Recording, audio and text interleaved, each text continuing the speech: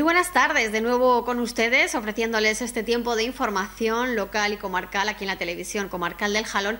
Hoy abrimos este boletín informativo contándoles que los agricultores aragoneses han pedido al consejero más presupuesto y una reunión previa a la mesa de la sequía. Los agricultores aragoneses consideran que el presupuesto del Departamento de Desarrollo Rural y Sostenibilidad del Gobierno aragonés es escaso. Denuncian que se ha reducido a la mitad de lo recibido en el mismo periodo de la legislatura anterior. Así lo manifestaron este lunes en una reunión que mantuvieron con el presidente de Aragón, Javier Lambán, y el consejero del ramo, Joaquín Olona, a quienes también pidieron un encuentro previo a la mesa de la sequía. Según criticó el secretario general de UAGA, José Manuel Penella, ni gobierno ni ningún partido político han presentado las enmiendas necesarias para aumentar ese presupuesto. Recordó que los agricultores ya salieron a las calles el pasado mes por este motivo, donde también solicitaron el encuentro que se celebró el pasado lunes. El secretario general de Asaja Aragón, Ángel Samper, también ha expresado que el sector se encuentra en una situación crítica en Aragón, señaló. A pesar de ello, Olona ha asegurado que Aragón cumplirá los objetivos del programa de desarrollo Rural establecido para el periodo 2015-2020, que tienen prevista una inversión de 943 millones de euros. Asimismo, los sindicatos agrarios han afirmado que a este problema de presupuesto se suman las afecciones por la sequía, que consideran que van a provocar grandes pérdidas. Según estos, dos tercios de Aragón se han visto perjudicados por la escasez de lluvia, en especial la comarca de Teruel, la zona del Giloca y Albarracín, pero además las heladas también han dañado cosechas de viñedo en la comarca de Calatayud y el pedrisco ha perjudicado a las producciones de Alcubierre. Debido a estas cuestiones, Penella ha reivindicado la mejora de los seguros agrarios, la única herramienta que, según dice, asegura que tienen los agricultores para hacer frente a estos daños. Para hablar de todos estos temas, los agricultores han solicitado a Olona mantener una reunión previa a la mesa de la sequía, algo a lo que el consejero ha accedido, aunque todavía no se ha fijado una fecha para la cita. Uno de los valiosos tapices que durante siglos colgaron de los muros del presbiterio de la Colegiata de Santa María de Calatayud va a ser restaurado próximamente. El precio de la restauración es desde luego muy abultado, alrededor de 30.000 euros, de los que ahora les contamos qué instituciones se van a hacer cargo. Según ha publicado ABC, los siete valiosos tapices que durante siglos colgaron de los muros del presbiterio de la Colegiata de Santa María de Calatayud son unas piezas textiles de elevadísimo valor, piezas históricas únicas que, según la tesis más extendida, fueron confeccionadas hace 500 años para recibir al emperador Carlos V cuando éste recaló en Calatayud un 16 de abril de 1518. Los tapices, conocidos como reposteros por la técnica utilizada para su confección, están actualmente comidos por el polvo. Tan delicado es su estado de conservación que hubo que contratar una empresa especializada para descolgarlos en diciembre de 2014. La debilidad del tejido hacía que solo manos expertas pudieran tocarlos, diseñar con milimétrico cuidado su desmontaje y recogerlos con sumo cuidado. Desde entonces se conservan a salvo de cualquier efecto físico o atmosférico que pueda agravar su precario estado.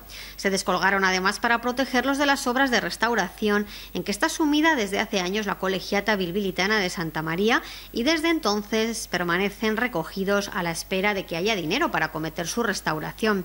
Según publicaba ABC, de momento uno de ellos va a ser restaurado próximamente, pero hay seis más en la misma situación. El coste de recuperarlos es muy abultado. El que se va a restaurar ahora necesitará de 30.000 euros, así que recuperar los otros seis que completan el conjunto costaría del orden de más de 150.000 euros. Los 30.000 euros que se invertirán en recuperar uno de estos siete reposteros serán financiados mayoritariamente por la Diputación de Zaragoza, que cubrirá el 60% de ese coste. El otro 40% lo aportarán a partes iguales el Ayuntamiento de Calatayud y la Diócesis de Tarazona. Solo desmontar esos siete esas siete piezas costó más de 5.000 euros. Se trata de piezas confeccionadas con la técnica de repostero. La maestría con la que se elaboraron los convierte en unas auténticas joyas de la historia del arte textil español. El alcalde bilbilitano José Manuel Aranda explicó a ABC que el objetivo es ir restaurando los otros seis tapices conforme se disponga de subvenciones para ello. El coste de acometer la restauración de todos ellos excede las posibilidades del ayuntamiento, explicó. Una opción, según indicó, es ir aprovechando sucesivos planes de restauración de bienes muebles que convoca la Diputación de Zaragoza para ir recuperándolos. Cetina ya se prepara para vivir una nueva edición de la contradanza. El pasado domingo tenía lugar el último de los ensayos en el pabellón municipal de esta localidad y sus ocho contradanceros y el diablo están preparados ya para la representación final este año. Se adelantará media hora con respecto a lo que ha sido en años anteriores. A tan solo dos días para que la plaza de la villa se llene de magia, en Cetina ultiman ya los detalles para la representación de la contradanza, una fiesta declarada bien de interés cultural inmaterial en Aragón. El pasado domingo tuvo lugar el último ensayo en el pabellón municipal y los ocho contradanceros y el diablo tienen ya sus trajes planchados y a la vista. Según ha publicado Heraldo de Aragón, comenzaron a prepararse a principios de abril sin faltar ningún fin de semana, ya que algunos de ellos viven fuera, en Zaragoza y en Soria. Cabe destacar que este año la celebración de la contradanza se retrasará media hora de la habitual. De esta manera comenzará a las once y media de la noche para que pueda acudir así uno de los contradanceros que participan en esta cita y que se está formando para optar a un puesto de trabajo.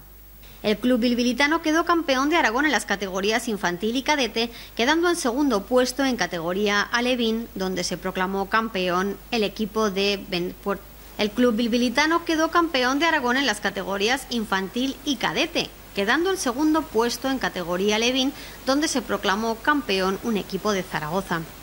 Los socorristas del Club de Actividades Acuáticas de Calatayud obtuvieron 11 oros, 15 platas y 12 bronces en pruebas individuales, sumando así los puntos necesarios para quedar por delante del resto de equipos que asistieron a la final.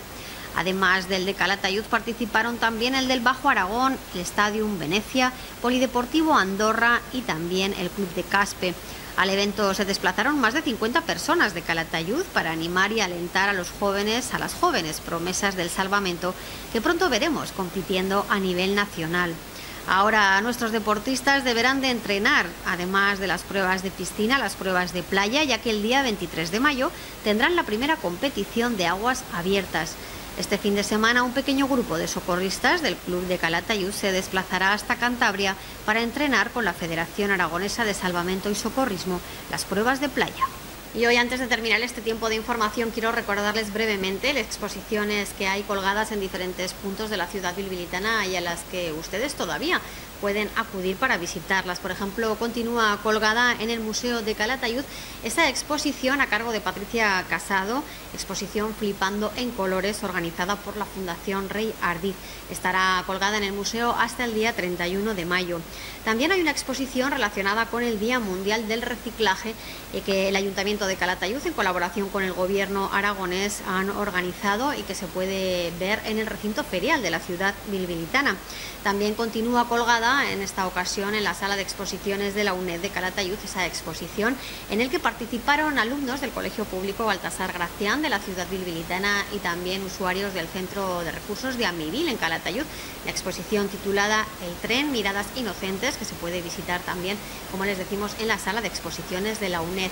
Y también esta tarde quería contarles pues que hay una conferencia, por si hay alguna persona que nos esté viendo que está interesada en ella. Es una conferencia destinada sobre todo a personas mayores, a personal sociosanitario, a cuidadores, familiares, visitadores y personas también interesadas. Una conferencia a cargo de Consuelo Santa María que lleva por título Humanizar la atención a los mayores. La conferencia tendrá lugar en el Salón de Actos del Ayuntamiento de Calatayud esta misma tarde a partir de las 8.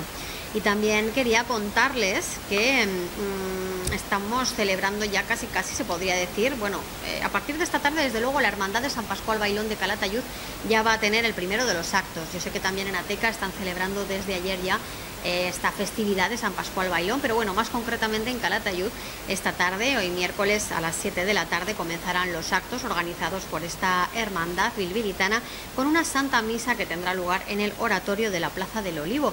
Luego el viernes y el sábado, también el domingo, habrá más actos organizados por la Hermandad de San Pascual Bailón, pero bueno, de ellos ya les iremos hablando en los días sucesivos. De momento contarles que esta misma tarde comienzan ya los actos para esa festividad de San Pascual Bailón organizados por la la Hermandad Bilbilitana con esa Santa Misa a las 7 en el oratorio de la Plaza del Olivo. Y ahora sí, con esta información cerramos hoy nuestro boletín informativo. Mañana, ya saben, volveremos con más cosas que contarles aquí a la misma hora, a partir de las dos y media en la televisión comarcal del Jalón. Así que pasen muy buena tarde y hasta mañana.